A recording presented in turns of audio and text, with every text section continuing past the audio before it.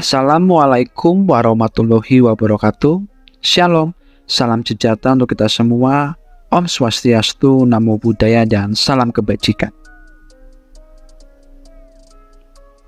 Banyak orang atau individu, bahkan kelompok atau masyarakat yang mempertahankan budayanya mati-matian. Bahkan bisa terjadi konflik karena apa? Mempertahankan budayanya. Karena budaya itu sendiri memiliki fungsi. Nah, seperti apa? Kita akan belajar bersama pada slide berikutnya. Selamat datang di Coin the Volley, pojok kegilaan.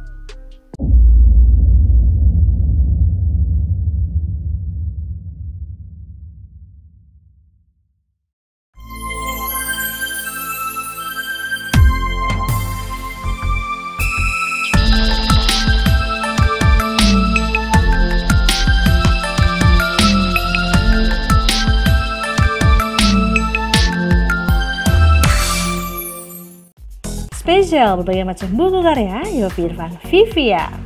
Dengan buku pertama yaitu Sumia Handbook.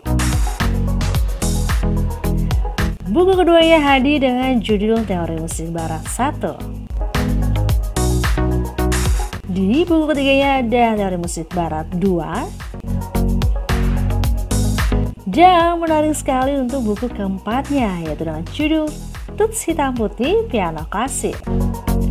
And then untuk karya buku kelimanya yaitu Habitus Musical.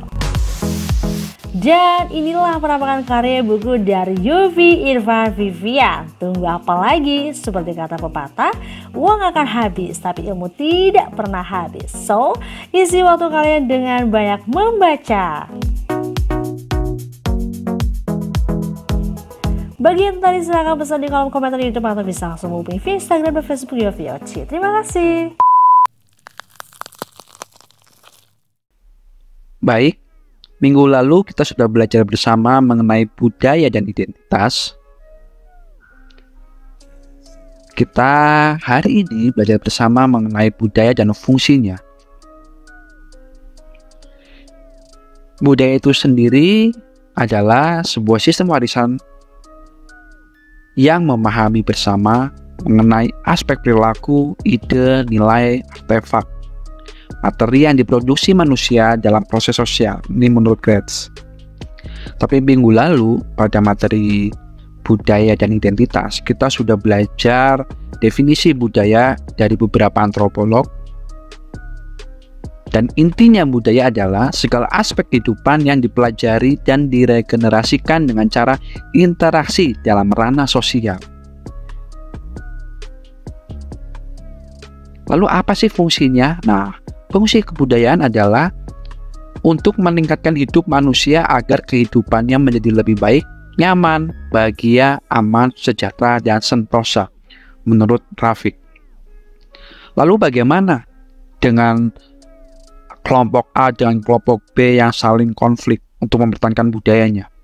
Berarti fungsi budaya kan nggak menjadi lebih baik, membuat hidup nyaman, bahagia. Nah, di sini ketika sebuah kelompok atau sesuatu masyarakat mempertahankan kelompoknya karena mereka ingin menjadi lebih baik hidupnya, nyaman dan segala macam itu.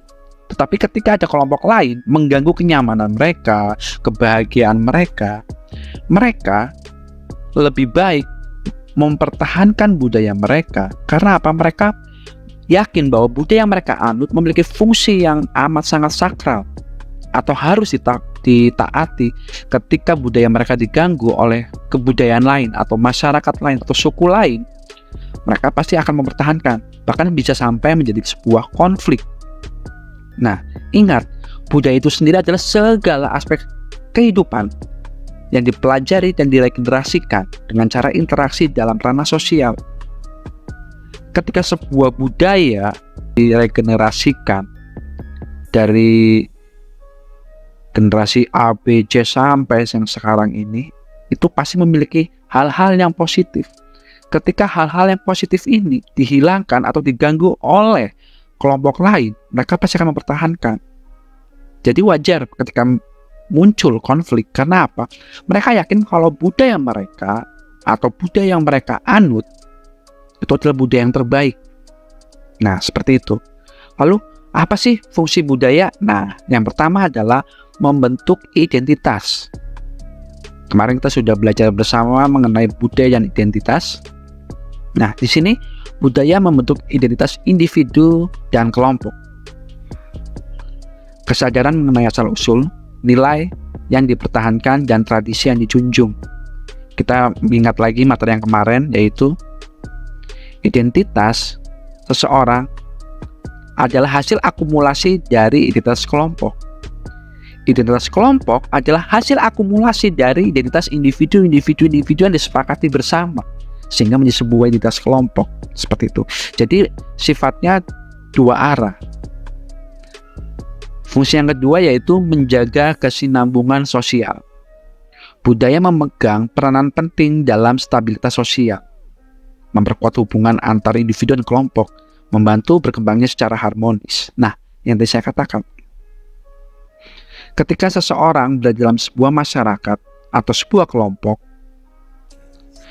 mau nggak mau orang ini akan mengikuti kelompok tersebut atau budaya yang ada kelompok tersebut atau budaya yang ada pada masyarakat tersebut. Karena apa? Karena untuk memperkuat hubungan antar individu dan kelompok. Misalnya saya orang Jawa, lalu datang ke desa yang semuanya orang Dayak misalnya. Mau nggak mau saya akan mempelajari budaya-budaya orang Dayak. Untuk apa? Untuk membaur dengan mereka agar hubungan apa? Hubungannya harmonis. Kalau misalnya saya mempertahankan budaya Jawa di tengah-tengah kelompok masyarakat Dayak, saya akan terkucilkan. Makanya apa? Fungsi budaya adalah menjaga kesinambungan sosial. Ketiga, memberikan norma dan nilai. Budaya memberikan panduan untuk perilaku yang diterima dan dihargai dalam masyarakat, menciptakan konsistensi dan interaksi sosial dan meminimalis konflik. Yang tadi saya katakan tadi studi kasusnya adalah saya datang atau tinggal di sebuah desa yang semuanya orang Dayak, lalu saya orang Jawa. Ketika saya berperilaku, saya nggak mau megang teguh budaya Jawa 100%. Di tengah-tengah masyarakat Dayak mau nggak mau, saya mengikuti cara mereka dari uh, belajar bahasanya, berkomunikasi, lalu adat istiadatnya, apa aja yang mereka lakukan. Untuk apa? Agar saya diterima dan dihargai dalam masyarakat tersebut. Keempat adalah ekspresi kreativitas. Budaya menjadi wadah untuk individu dan masyarakat berekspresi. Ekspresinya apa sih? Mengenai ekspresi kreativitas. Ada beberapa ekspresi kreativitas yaitu mengenalui seni, musik, sastra. Semuanya itu adalah luapan ide.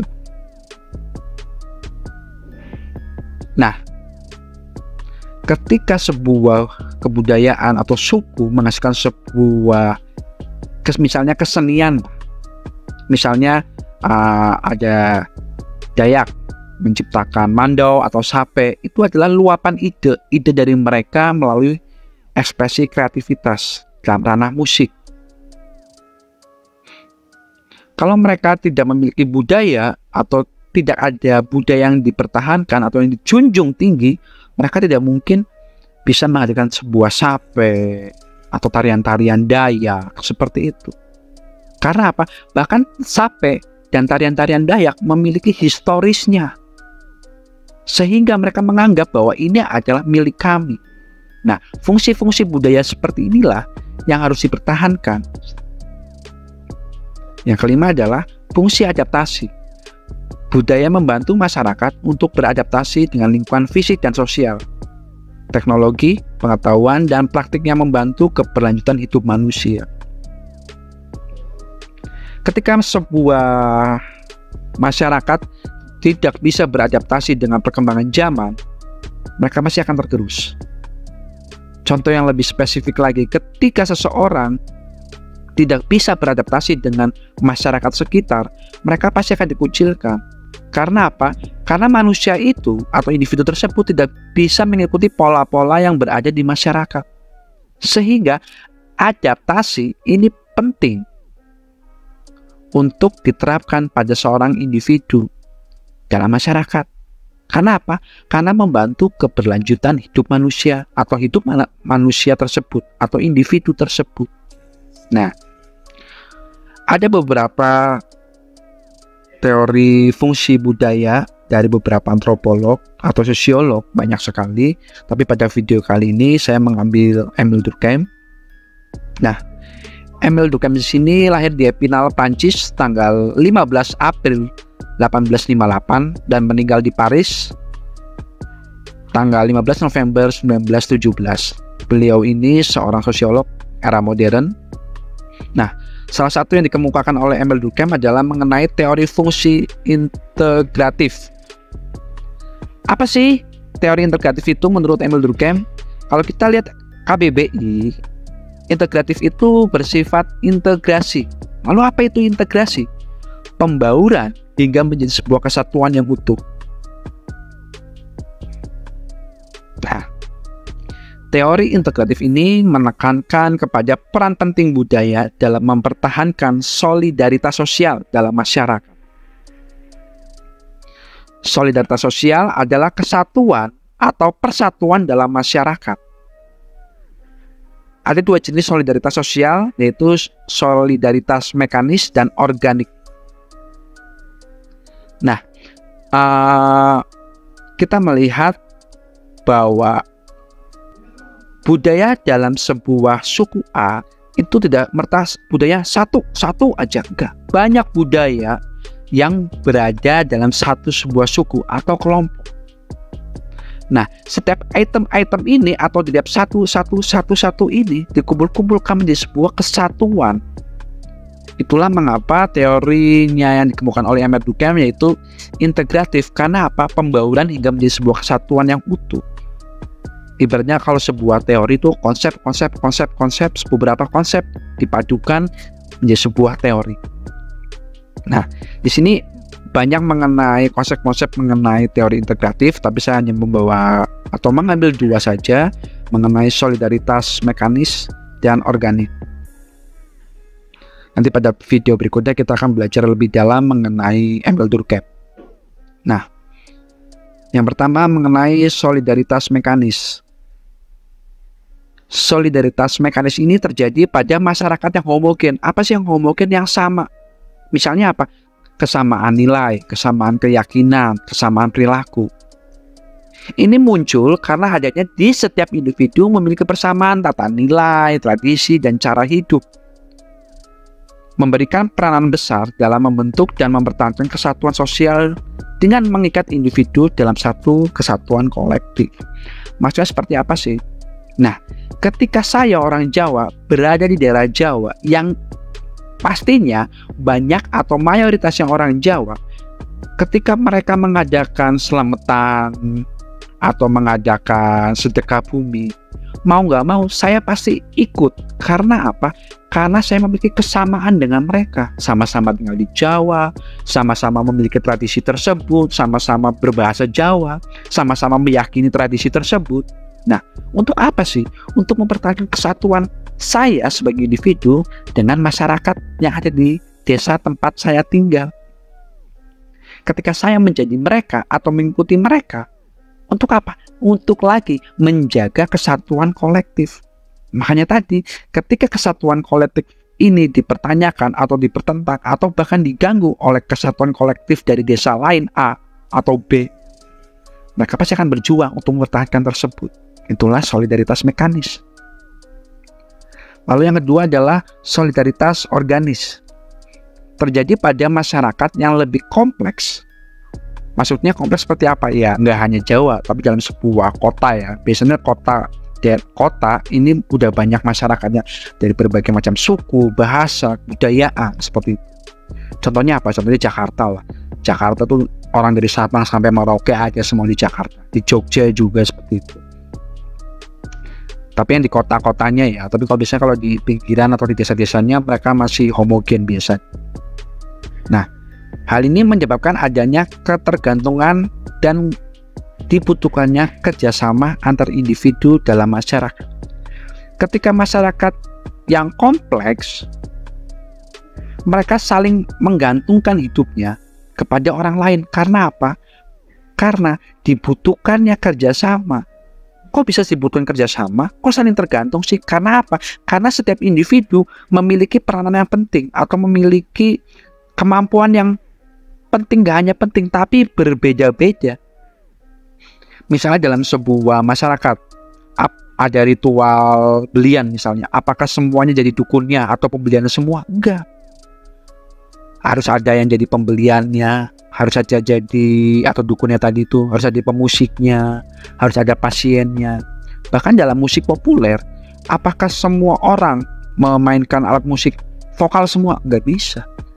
Musik populer berkembang itu karena adanya keberagaman. Contohnya apa? Keberagaman dari label media rekam segala macam lalu ada kemampuan orang bermain musik musik juga nggak gitar semua, vokal vokal semua, keyboard keyboard semua enggak, tapi ada beberapa macam instrumen ada di situ. Hingga mereka saling membutuhkan. Karena apa? Setiap individu atau setiap player memiliki peran dan fungsi yang berbeda. Sehingga banyak orang atau banyak individu itu saling ketergantungan. Nah, karena saling ketergantungan dibutuhkannya kerjasama. Seperti itu. Baik, ini gambaran singkat mengenai teori integratif. Terima kasih banyak yang sudah mendengarkan video ini. Assalamualaikum warahmatullahi wabarakatuh. Shalom, Om Swastiastu, Namo Buddhaya, dan salam kebajikan.